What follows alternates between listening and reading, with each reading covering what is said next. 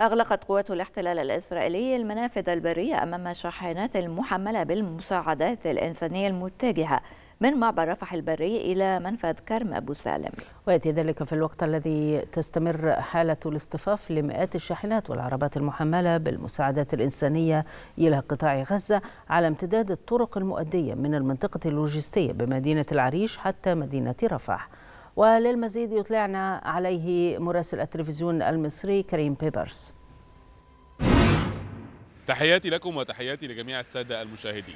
ما زلنا في متابعة مستمرة لنقل الصورة من العريش ورفح.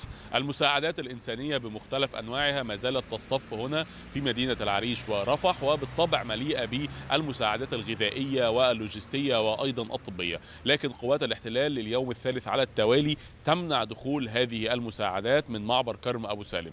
تتحرك هذه المساعدات من العريش ورفح متجهة إلى بوابة معبر رفح المصرية وتعبر إلى معبر كرم أبو سالم. لكن قوات الاحتلال تمنع دخول هذه المساعدات. هذا يأتي بالطبع مع استمرار القصف المستمر للأماكن الآمنة في قطاع غزة وتحديدا الحصار المطبق على شمال قطاع غزة وتحديدا جباليا التي يعني نالت الكثير من القصف والاستهداف للمدنيين واستهداف المستشفيات خلال 13 يوما الماضيين. وأيضا الماضيين وبالإضافة أيضا لاستمرار هذا القصف والاشتباكات الخاصة بالمقاومة الفلسطينية أو الفصائل الفلسطينية ما زالت مستمرة تسمعها من أمام بوابة معبر رفح المصرية نظرا لأن هذه الاشتباكات في رفح الفلسطينية أو جنوب رفح الفلسطينية. هذه هي الصورة بالطبع الخاصة بنقل المساعدات. لكن المجهودات المصرية بشكل عام لا تتوقف سواء في نقل المساعدات الإغاثية للأشقاء الفلسطينيين أو حتى في مجهودات تجهيزات هذه المساعدات لنقلها إلى الأشقاء. هذه هي الصورة